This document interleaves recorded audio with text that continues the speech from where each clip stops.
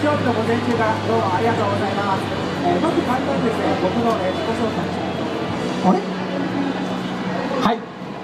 えー、僕はですね、えー、くもくも劇場の座長の中村織夫と言います。普段はですね資格試験講座なんかを作ってるんですけども、まあ、たまにですねこんな学校ではい、こういうふうにですね、まあ、東シナ海でですねバルーン上げて梅雨前線捕まえに行ったりしています。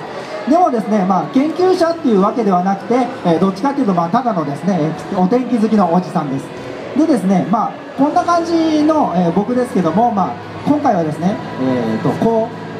こういうですね天気があった時に、えー、普通の皆さんですね、まあ、晴れてるなぐらいだと思うんですけども、ね、この雲が映ってる時、まあ、これは今日の幕張の朝なんですけど例えば昼ぐらい、えー、これは一昨日の昼ですねこういい感じで雲が出てきてるんですけどこういう雲が出てきた時にあんまり気象になりわいをしてない方っていうのはこれでワクワクはしたりしないと思うんですね。でもこのセッションを見ていただいた後はこういう雲が出てきたらこの天気の先ね、えー、今日の雲どんなかなっていうようなワクワクできるようになったらいいなと思っています。でただいきなりね雲を見てワクワクしてくださいっていうのもなかなか難しいと思うので、え今日はですねそんな雲のストーリーを話してくれる、え4人と1匹の登壇者をご用意しましたので、えこれから紹介いたします。ぜひ拍手でお迎えください、えまずですね、え天気図ストーカー茂木工作。よろしくお願いします。それから、えー、ゲリラ豪雨に挑む選手荒木健太郎。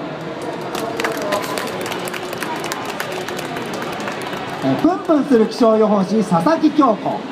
とパンダ先生。宇宙をかける気象学者、えー、今村武